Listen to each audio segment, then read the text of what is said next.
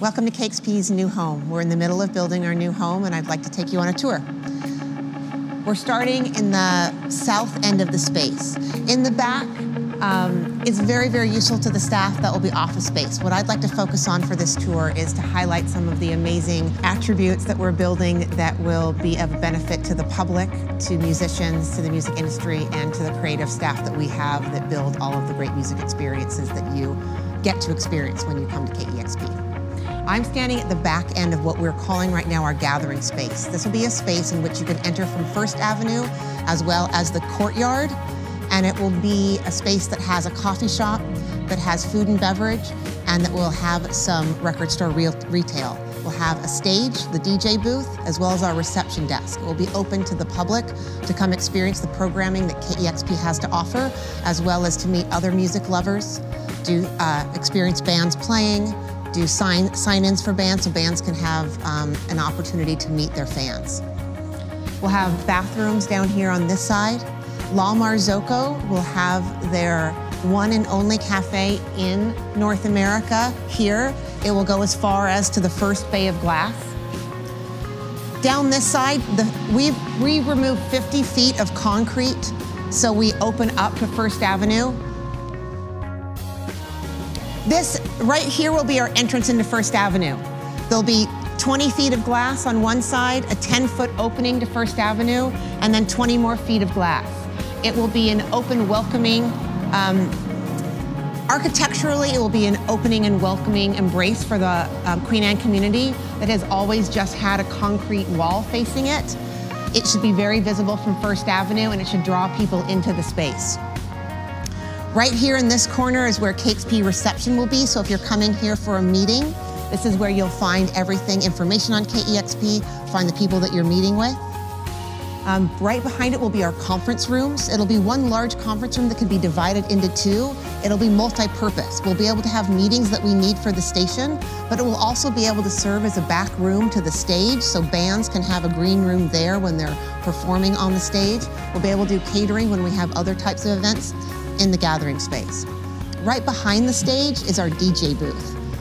So rather than tucking the DJ booth back into a corner, we designed a fully isolated booth so the DJ, so it can be as loud as we want to out here between the buses, between the bands being loud, between people enjoying themselves. It won't have any audio impact on what the DJ is doing inside. This will be a large window.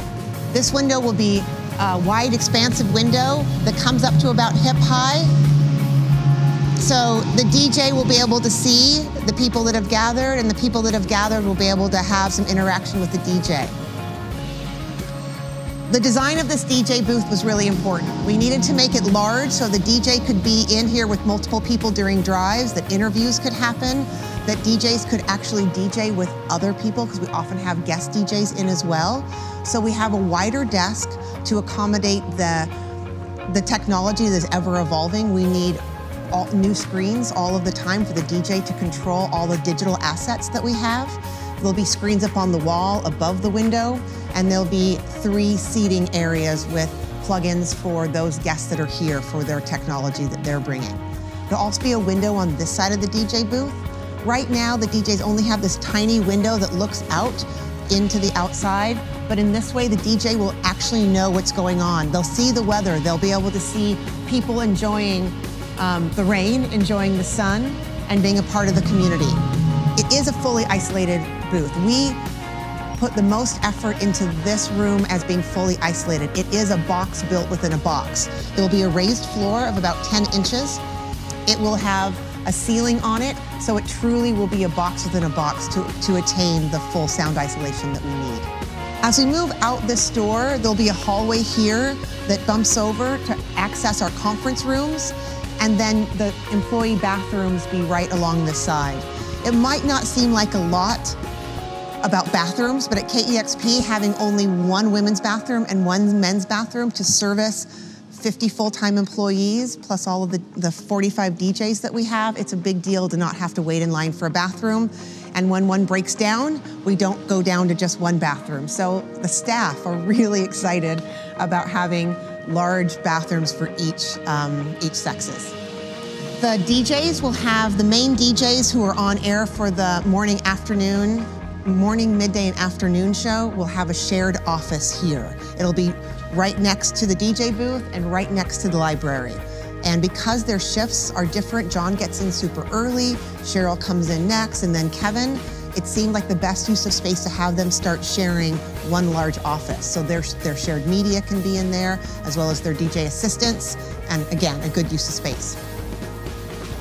Just on the other side of the bathrooms is where we have our new library. The library starts, let me, the library starts here.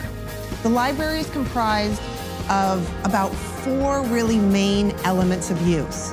It houses all of our um, media, our physical media. It, our librarian will have a desk in here. This is where DJ assistants will be active during the shows as well as for the prep and breakdown after the shows. And a new element that KEXP is adding in, which we have not had for a long time, are, is a, a really, really great area for our DJs to do prep for their shows, but also to come in and listen to music, to practice, to really get close to their craft. So as you walk into the library, to the left will immediately be the librarian's desk, as well as a desk for the DJ assistant that is serving the on-air DJ right at that moment. All of this area from here all the way back to the wall is where our physical media will be. The large rack that we have currently now will move here to house our CDs and then there'll be additional storage all along this area. One of the, one of the aspects of this library that I'm most excited about is the DJ prep area. So there'll be a larger area here that will be room for a couch, chair, there'll be some um, some desk area for DJs to stack all the assets that they want to listen to, whether it's CDs or LPs, and they'll be able to pop right into two DJ ISO booths. So we have two of them because we always have a DJ coming off the air, a DJ on the air, and a DJ coming on right after them to enable multiple DJs to be listening to music at volume. We needed to have isolation booths. So they're small, but they'll have um, the equipment that they need to do adequate prep and listening to hone their craft and really become excellent curators on air for KEXP. The prep area will be open, so the DJ will be able to loop all around the entire library and come right back to their prep area. All of our LP collection, which is quite vast, will be lined all around the outside of the isolation booths. So these windows that we created in order to have a better connection, a better connection to the Queen Anne community, um, when people come up to these windows and see in, they'll see uh, about 10 to 11 feet of LP stacked up here. And around this corner, right over here, there'll be um, there'll be um, a whole shelf for DJ assistants to do their prep work. So when you're coming and looking, you won't just see um, LPs, you'll see people working, you'll see people walking through, and so it'll be another way to experience and understand how KEXP works. As we come out of the library and we walk down the hall, this is really where the hub of studios and, and um, rooms for bands to perform in, and their green room is down in this way. All the way down at the end, um, we'll show you the open office space for the employees and some of the, the kitchen, et cetera, that we have for them. This open area that's yet to be framed in will be the future home of a second DJ booth, which will enable us to do um, more, more shows online. We'll be able to, um, for DJs that are just starting out, they'll be able to, to do practice shows. We'll be able to do teaching. We'll have to be able to have a teen show. We'll be able to have a lot more, um, a lot more DJs creating a lot more music experiences. Next up is our CMR. This is our central machine room. It is about twice as big as the one that we have now because even in that room, we have completely run out of space. There is not enough space for our servers or the equipment that runs KEXP. So we're very excited to have proper air conditioning as well as proper space for everything that we need.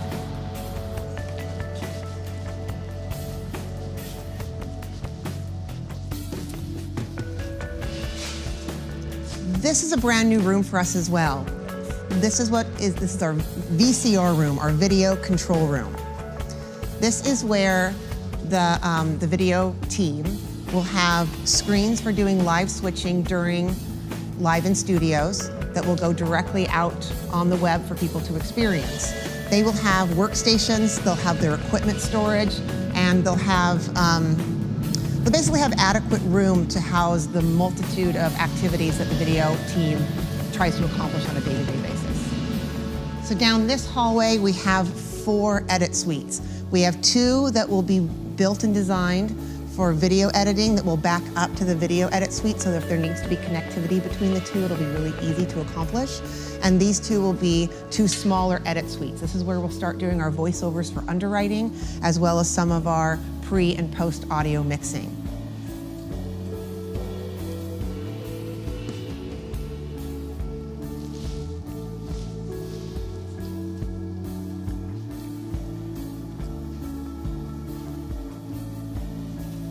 Right across from the edit suites will be the entrance for the bands into the live room. And this is our new live room. It is uh, 1,100 square feet and it is awesome.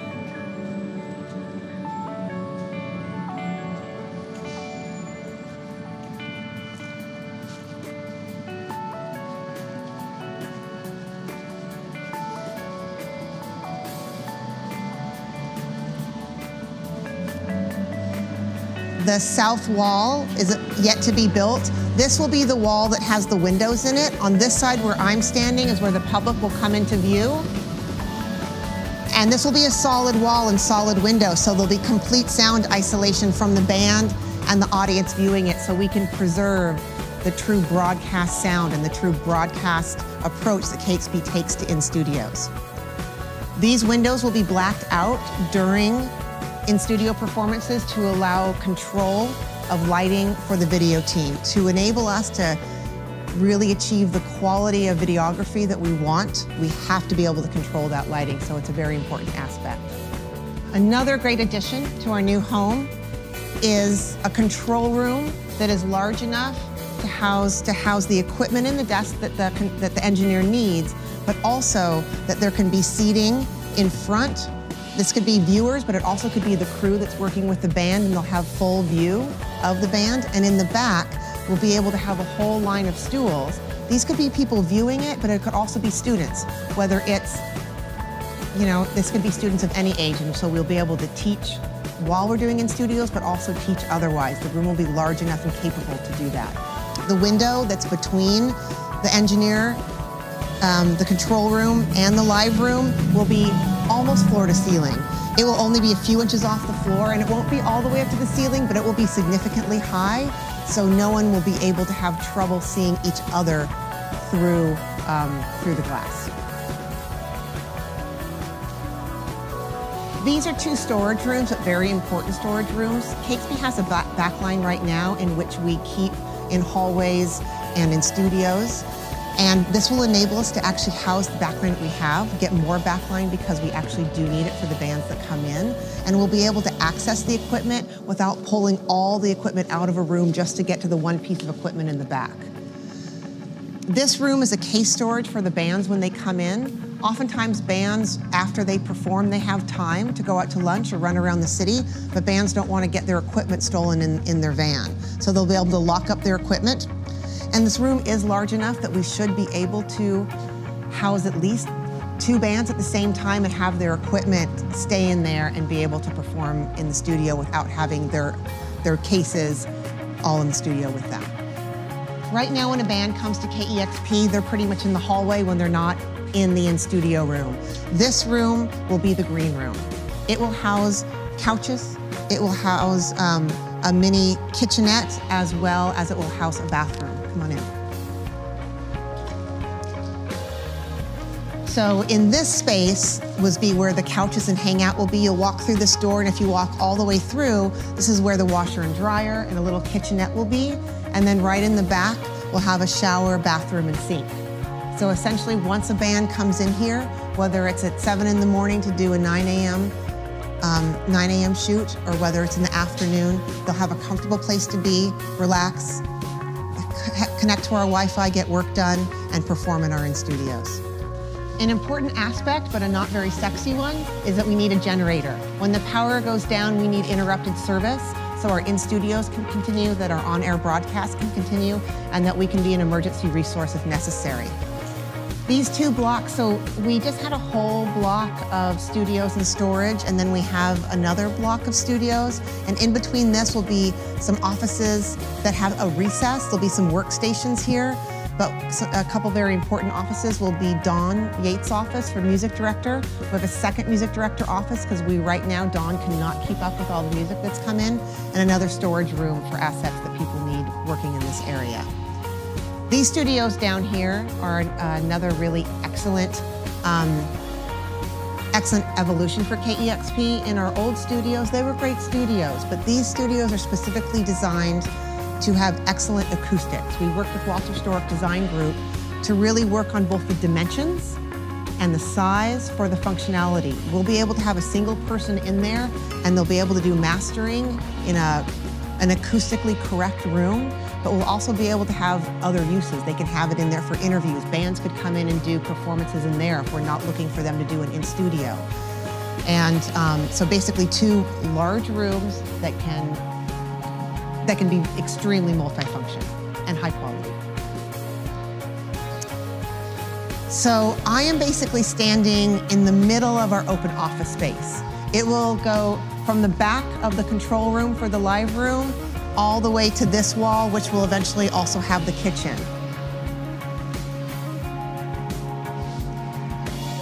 The open office space will have three garage doors that go out to the courtyard. So if the staff elects to have one or all three open, they'll be able to elect to do so in the summer.